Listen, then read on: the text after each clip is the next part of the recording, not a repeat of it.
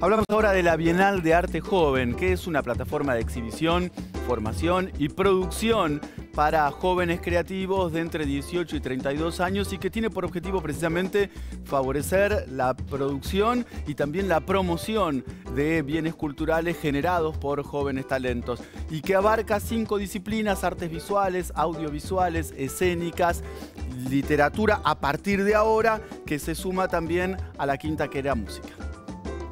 Este año eh, tenemos las mismas líneas de competencia oficial, artes visuales, artes audiovisuales, escénicas, música, pero se suma literatura, así que muy contentos con una nueva línea de competencia oficial. Yo junto con Juan Pablo Shapira, que es el compositor de mi obra, eh, nos presentamos con una obra que se llama Mamá está más chiquita, que la escribimos acá durante el seminario de la Bienal durante tres meses en un taller eh, que compartimos con otros 10 proyectos. Em, nosotros eh, ganamos el premio que entonces lo que vamos a hacer es estrenar durante el Festival de la Bienal del 25 de septiembre al 1 de octubre y después eh, también otra oportunidad que nos da la Bienal es hacer una temporada de 10 funciones más de octubre a diciembre.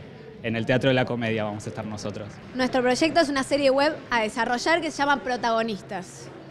Es...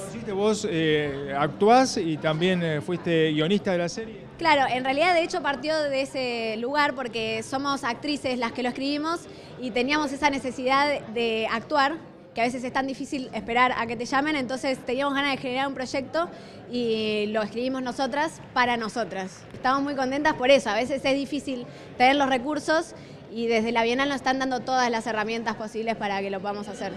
Bienvenidos también